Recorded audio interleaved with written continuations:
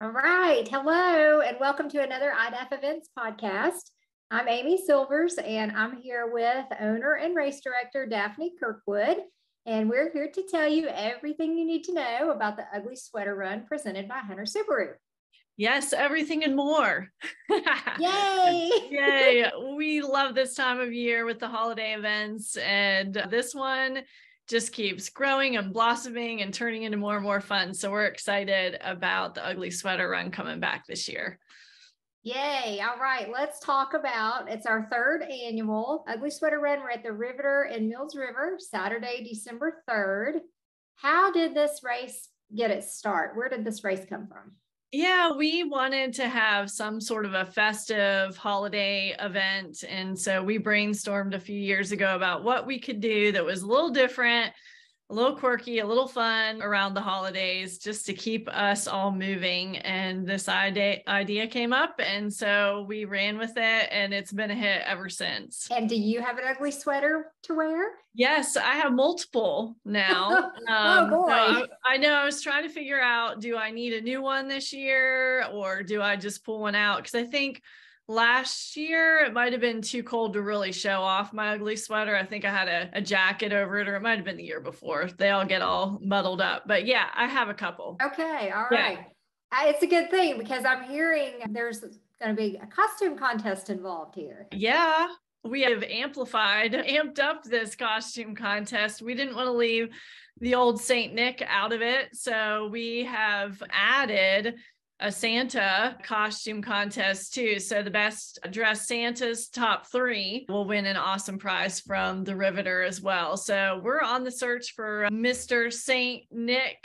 And uh, so hopefully we'll find him this year. So if you don't have a Santa suit, don't fret. We still have the ugly sweater costume contest. But if you want to mix it up this year, you can pick. The ugly sweater outfit contest is for male, female, those awards. Amy, Yes. and we yes, have one for kids. Is that right? Yes. Okay. And and group, a group category. And a group one. Yep. Mm-hmm. And those winners will get something from the Riveter. I'm excited about that. So if you're not in it to win it, be in it to win the costume contest. Yes, I remember last year it was so much fun. Just the vibe and the the energy from almost everybody dressed up in some form or fashion. Yes. Even if it was just a shirt, but there was Yeah. tutus and headpieces and uh, just everything from head to toe. Just almost everybody dressed up. It was just it was Yeah. incredible. Well, and worst case scenario, you can't come up with something, you run out of time, whatever. You have the ugly sweater run shirt. Uh, which you can wear. That counts too. We have the long sleeve and short sleeve shirts. So if you didn't buy one of those, you can buy one online. I think there's a few left. And so if you do, if you're not super creative or you don't feel like running in an ugly sweater, you can get one of the shirts, and that counts too. Absolutely, of course. Okay. And something else to be excited about. This is our second race of the Holiday Yes. Hustle series. Yeah. So here's the medal. Oh, I love it. So cool. It's So cool. Yeah, we're really excited about the Holiday Hustle this year. It's the inaugural Holiday Hustle, and you can participate in person or virtual or a mix of both. So let's say you're traveling for Thanksgiving and you're not going to be around, you can do that one virtually if you want. You can run another city's turkey trot if you want. You just need to be signed up for so that you can be part of the holiday hustle. And then at the end of the series, which will be on New Year's Day, we'll hand out the holiday hustle medals at the resolution run. Again, if you're doing that one virtually, we'll get that in the mail to you, or you can pick it up at Fleet Feet. But yeah, we're super excited about the Holiday Hustle series. Quite a few people have already signed up for it. It is what's happening during the holidays this year, for sure. yes, I'm signed up for all three of mine, so I'm excited to to get my Holiday Hustle medal. Yes, very much.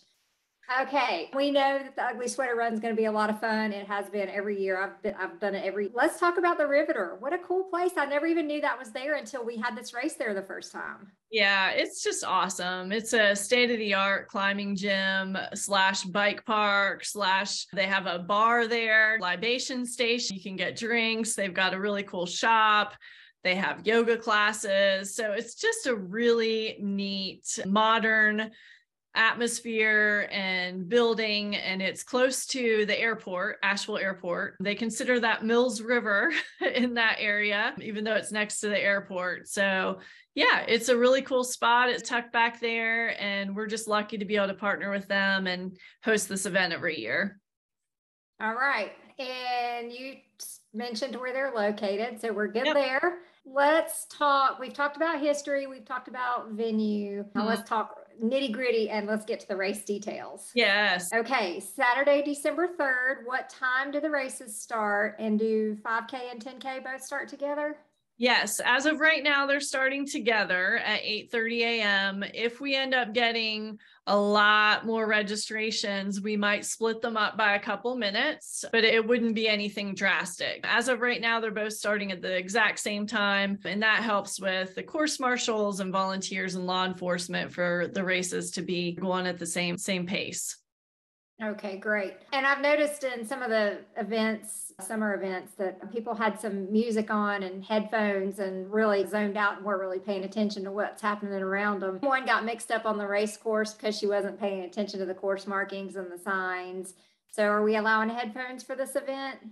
Yeah, we've not outlawed headphones at any events. I love running with music. I think it all boils down to being aware of what's happening around you. I think the biggest complaint that I hear time and time again from volunteers and police is the fact that runners just are in the zone, they're listening to music and they're not paying attention to them. And so when the volunteers are trying to talk to them or tell them where they need to go or the police are trying to stop them. They're just oblivious. And a lot of that is because of the music. And so i say pull one headphone out just have one in or keep the music down so you can hear if people are talking to you. I love listening to my tunes and being in the zone too but during a race especially when roads are open to traffic and cars and there's multiple things happening there's a split in the course things like that. It's you got to pay attention and you have to take ownership of that yourself because we can't you know stop every runner and say hey are you doing the right thing or it's yeah. you have to take your own ownership so yeah, I would say definitely pay attention to the signs. Don't just follow the person in front of you either. This happens time and time again. It's like sheep just following sheep. And the person in front of you might be doing a different race. They might be doing the 10K and you're doing the 5K. They might be off course and didn't follow signs and you might be following them. So, really pay attention to what you're doing. This course is fairly simple. It's the same one we've had every year. And so, look at the course map ahead of time and just be familiar with what you're going to be doing and pay attention to the signs. Good to know. All right. How about packet pickup? Do we have a pre event packet pickup for this race? You tell us, Amy. you tell us what's happening with packet pickup. we do. Of course, we always we had the option. We have this with all of our events. We have the option to have your race bib and your shirt mailed to you ahead of time. Yeah, and that option can is can be selected during registration or from the race store. If you missed it, you can still add it from the race store if the deadline hasn't passed and that's really taken off. Everybody loves it. You don't have to fool with driving anywhere with wasting gas and that kind of thing. And it's just super convenient. You just show up on race morning, you're ready to. But if you did not do that, if you didn't select that option, we do have a pre-event packet pickup, and it is at Hunter Subaru in Fletcher at their the new location there, sort of across from the Asheville Airport. Friday, December second, from three to five p.m. And we do recommend that you, if you didn't have yours shipped, we do recommend you come to that one just because it's just to avoid all that stress on race morning of trying to get there on time, stand in line, get your packet, and all that good stuff. So that's your best option. We will have race day packet pickup from seven to eight, and that will be inside at the Riveter. Awesome. Um, so when they get there, when they've got their packet, we're ready to mm-hmm. roll. What's the best way? Like, how's the best way to? There's two ways to come into the Riveter. How's the best yeah. way to to come, and where do we park? Yeah, the place, the entrance that's closest to Hunter Subaru off of Highway 280, which is Ferncliff Park Drive. You come to the roundabout. You're going towards Sierra Nevada you go around the roundabout and then you see a sign for the rivet and you'll be parked in the parking lot that is right beside the riveters parking lot. There's not enough parking there for all the participants so we use an overflow lot. So you'll be directed to the parking lot and it'll just help if everybody comes in that same way. So if you put sierra nevada in your phone or the riveter and come off of ferncliff park drive that's probably the best thing to do. I will just say it is tight and congested around where the riveter entrance and exit is uh, and the parking lot. I would suggest that when you come, you come and you just settle in to being there until the race finishes because if you're if you finish the 5k and you're trying to hop in your car and leave there's still people racing and the race runs right past that parking lot that the overflow parking lot and the entrance to the riveter so it's really tricky to get in and out. I'm not saying you can't get out, but you might have to wait a little bit and be directed to do that. This is one of those events that just hang out, stay for the costume contest. There's plenty to do. We'll talk about afterwards. And if you can and you have a little time that morning, just don't plan to rush off. Just plan to hang out for a little bit and have fun. Yes, and there it was fantastic last year. Everybody just really enjoyed it and had a blast. Okay, two important questions. Got to ask every time. uh, I think I know one, what they are. I bet you do. Number one, restrooms. So we'll yes. have restrooms available. Yep, restrooms are inside the riveter. They have a, a, couple options that are in there, easy to find. Those will be available. There won't be porta johns outside, so you will need to go inside for the restrooms. Okay. And our coffee fix, our caffeine yes. fix. Yep, there's coffee and hot drinks from Bare Bones Brew Haas. Dan will be there serving those up. So bring some cash and plan to get your caffeine fix before you start your run or after. All right. Yeah, for sure. Okay, we've arrived. We parked in the proper area. We picked up our race packets, fueled up, used the restroom. Anything else we need to know before we start the race? Yeah, so you're going to put your number on the front of you, and there will be two different bibs for the 5K, a different color for the 5K versus the 10K. So if on race morning you show up and you've had your bib mailed to you, or you've gotten it the day before, and you show up and you're like, I don't think I'm going to do the 10K today, I want to do the 5K, you need to go in and say hi to Amy inside at the riveter and swap out your bib because that's going to mess up your timing if you don't, and it will mess it up for everybody. So please, if you decide you're going to switch and drop down, please have that switched. If you decide on race morning, hey, I'm feeling spunky and my friend's doing the 10K, I think I'm going to do the 10K instead you need to go get your bib switched and pay the difference with Amy to have that done as well. So please take care of doing that, but put that bib on the front of your shirt so that we can clearly see that. If you plan on layering up, if it's cold in the morning and you don't know if you're going to run the whole thing with your ugly sweater on, you can put it on your pant leg somewhere that we're going to be able to see it and try not to bend um, your bib because the back of the bib has your number on it, the strip. And once it's bent, it does not read clearly. Just some things for you to know. Okay. And let's talk about the run itself. Can you tell us a little bit about the course and can folks go run the course ahead of time to test it out? Yeah, this is one of my favorite courses. I feel like it's just unique, it's different, it's on scenic country rural roads in Mills River. It is open to traffic, so you are going to want to stay on the side of the road. We will put stickers and signs down directing you on which side of the road we want you to be on throughout. But it's a mix of paved surface and gravel and dirt farm roads. So be prepared for that. I would not wear racing flats to this event. I don't think you need trail shoes, but you definitely want a shoe that has a little bit of cushion to it and stability just because you are going to be on some mixed surfaces. It is not a trail. You're not going to have roots and rocks that you're contending with as far as a single track or anything goes, but just keep that in mind. So it might not be your PR course, but that's okay because it's totally beautiful. You're getting to go on North Carolina state property, state university property, and it's really neat. It's farmland, it's a working farm. And so you'll get to see that and um, just soak it in and enjoy it. It's so cool. There is a mix of flat and hills with this race.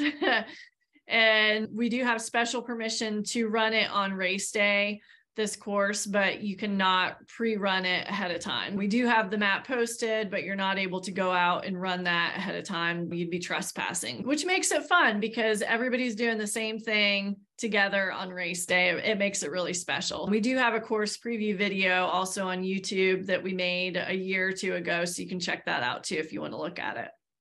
Okay. And what about the Stinker Hill? Is there a oh, Stinker Oh yeah. Hill?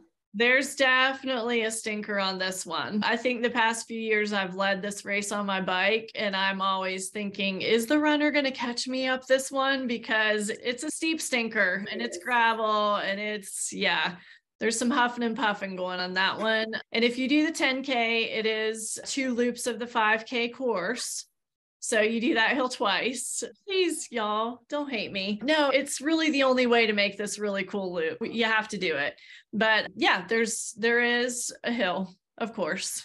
But if I remember correctly, right after you top that hill, you have a little downhill stretch to recover. yes, there's a Yeah. nice there's a nice couple downhills after that. Yes, yes. So that makes it a little easier. Yes. Okay. How about water stations? Will we have water Yeah, stations? we have? Yep, Green Moose Fuel. They'll be out there and they will be uh, about at the halfway point. So you'll stop by the water station there if you want to, and the 10K will see them again. So there is one out there on the course. All righty. And how about our furry friends? No furry friends at this one. They're not able to be inside the riveter. And really, just because of the congestion factor and being on the roads with cars, it just doesn't make sense to have dogs at this Yeah. one. Yeah. Yeah, it's probably not safe. and how about strollers? Same thing for strollers, not the same. You can bring your kids, but again, you're on gravel, dirt roads. It's not the best surface to have a stroller. I know we've had some before, and I think it's been pretty challenging for them. So I would caution against strollers unless you're just a pro stroller navigator. Again, if you do, you're going to want to be on the side of the road because it is open to cars and traffic. Okay. All right. And you mentioned we have the 5K course, the Mhm. 10K course, which is two loops of the 5K course. What about places where spectators or family friends can come and cheer you on? Yeah, I would suggest if you want to be on the course, if you're a spectator, you're going to want to go out to Gaia Herbs, G A I A. You can look at it on your map. Gaia Herbs, and that's a spot you'll be able to cheer folks on. I would just be super careful if you're going to do that, that you leave before the race starts so that you're not a car on the course when the, cor- the race is happening and that you stay there until the 10K runners are done. So if you don't plan on doing that, I would say just stay at the Riveter and just cheer folks on. You'll see them in the 10K, they'll come in and do their loop to go back out. So you'll get to see them there. And then, of course, at the start and finish too. Okay, gotcha. and what about rules? What rule what rules do we have for the race? First of all, you have to have fun at this race. and It's mandatory. Always, yes. Bring your Christmas cheer. Don't be a Scrooge at this one. no Grinches. No, no Grinches. Be ready to have fun. This is all about getting in the Christmas spirit. It comes around once a year. And so, even though some of us as adults are like, oh, it's Christmas, this just sort of gets you in that Christmas spirit. At least that's what we hope to do. And then just don't run in the middle of the roads. Be courteous. You're going to be on roads with cars. Even though there's not a lot of traffic usually on the roads, stick to the side don't take up the whole road and then be cour- courteous to the other runners that are on the course too call out that you're on your left if you're passing and that sort of thing just the sta- standard rules Okay, gotcha. All right, so we have run, we finished our run. We have grabbed our super awesome ugly sweater finisher medal. So. Finisher ornament, I should say. And we've crossed the line, grabbed an ornament. What's next? What do we do next? Yeah, so there's going to be plenty of other things to check out when you get finished. We will have DJ Mixology there, DJ Roman. He's going to be mixing up music in the race hub, which is always fun. Little spontaneous dance parties are always fine for this race. We will have the Spotted Banana food truck that will be there, and they're going to be serving up their famous pumpkin freeze smoothie it's so delicious. They also have other smoothie options too, if you're not a pumpkin fan.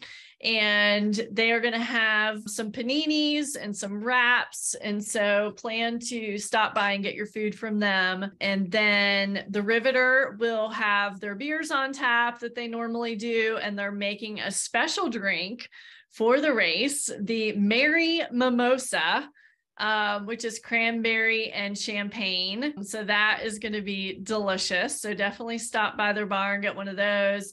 And then um, they also have some non-drink drinker options too, non-alcoholic options as well. There's things inside the Riveter that you can get if you want to hang out at the bar but don't necessarily drink. There's also the climbing gym, there's a bike park as well. So you can make a whole day out of being at the Riveter. I mean, there's so much to do, especially if you bring your family. And you can find out all about the Riveter at riveternc.com is their website and you can pre-book things, bike park passes, all those things so that when you get there, if you want to stay longer, you have that stuff already set up.